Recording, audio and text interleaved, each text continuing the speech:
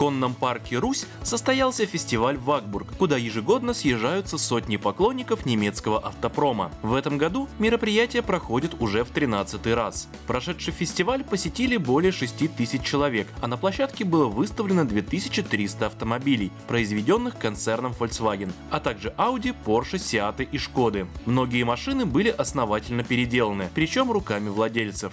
По автомобилю э, я сделал пневмоподвеску, так называемый кастом подвеска с заужением, с расширением колеи. Передняя база была заужена, задняя расширена база. Перешит салон, отреставрирован кузов, отреставрирован двигатель. Были стенды с уникальными экземплярами, как, например, эта тележка грузоподъемностью 80 килограммов.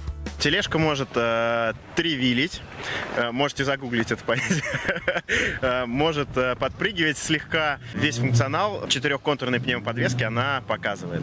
Пневмосистема базируется на оборудовании компании Беркут, которая впервые приняла участие в фестивале. Основными элементами стали компрессор Беркут R17 и работающий с ним в паре алюминиевый ресивер Беркут AT06AL на 6 литров. Все можно было потрогать руками, пощелкать тумблерами и задать вопросы по постройке. Торговая марка Беркут поддерживает фестиваль Вагбург. Э, Наши компрессоры э, хорошо себя зарекомендовали как компоненты для тюнинга автомобилей. И здесь э, на фестивале вы можете протестировать наши новинки и новые разработки. Фестиваль посетили представители 27 автоклубов и владельцы редких автомобилей и ретро-каров. Так что любой желающий смог своими глазами увидеть живые легенды немецкого автопрома.